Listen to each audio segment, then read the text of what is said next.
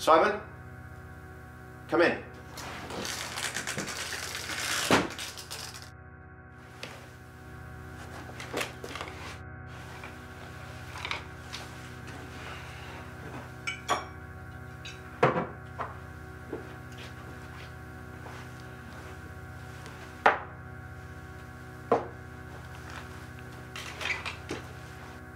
Please, sit. Drink.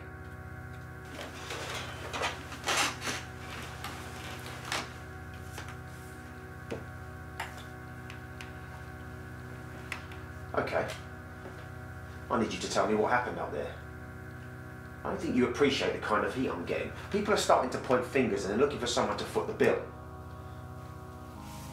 I sent you up to Mossley Camp. Then what?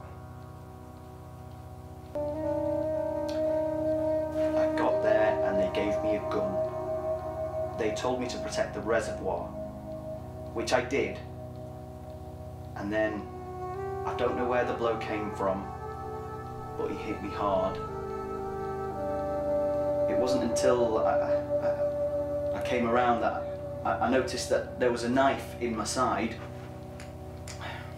Anyway, that's when I, uh, I, I felt a boot on my back, and uh, he pulled out the knife, and uh, I just lay there, playing dead.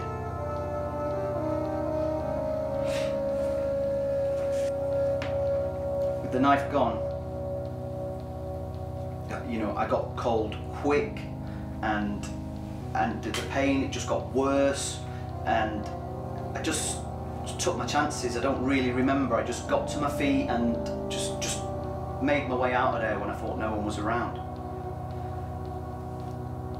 I drank the water until I was nearly sick. I didn't know if I'd been bitten or infected or what. And you get away.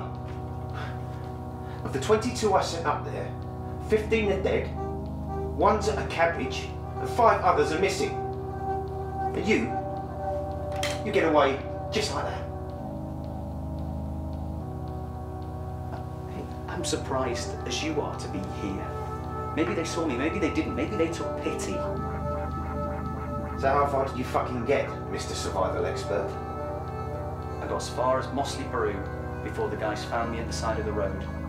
They fixed me up, they took me in, and it, it wasn't until I'd rested that I heard about them taking over. I, it's the first I heard about it.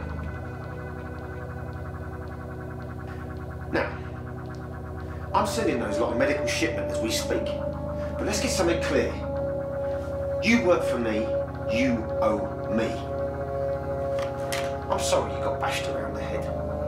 But keeping you in my team is becoming an expensive fucking habit.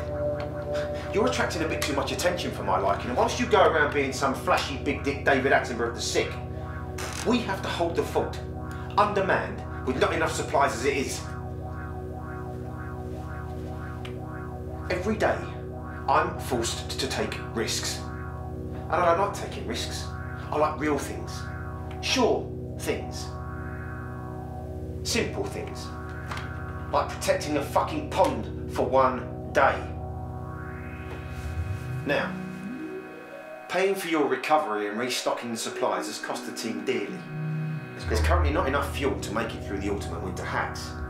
That leaves us at a massive disadvantage. Now, I'm not allowing us to be swallowed up into the council's control. So, I need you to get well, and I need you to take a walk. A really long walk. I need you to go get us paid. Are you sending me now?